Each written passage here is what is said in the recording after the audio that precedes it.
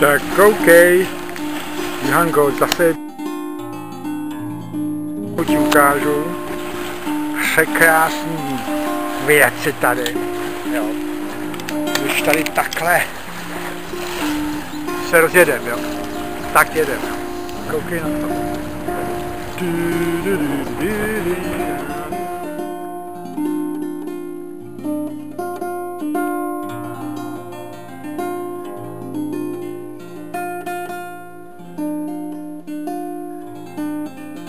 Jedem, jedem, jedem, koukej, jak je zase krásně, a labutě zahonej.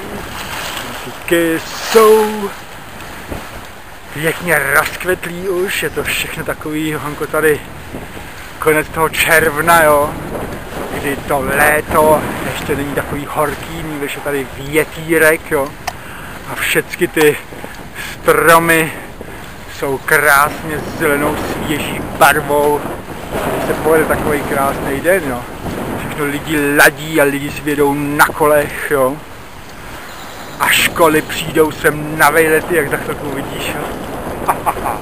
Nádherný, já sám jsem byl sedm týdnů pryč, pracoval jsem v Norimberku, tak uvidíš, jsem tam poslal.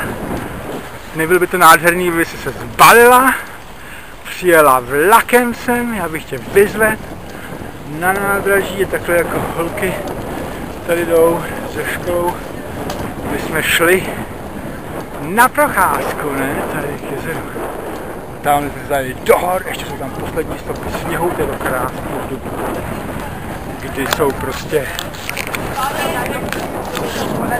kdy jsou prostě Alpy v tom krásném květu, ale ještě tady trošku toho sněhu a je krásný takže brzo nashledanou. Že na tebe pořád myslím, když tady jezdím. La, la, la, la, la, la, la. Všude tady už jsem ti posílal, že jo, ty obrázky ze těch všech různých míst, no a každý den jsem tady ráno jdu po té promenádě, tak si říkám, jak by se tady byla hezká v tom. Jsem dal pár obrázků, tak zatím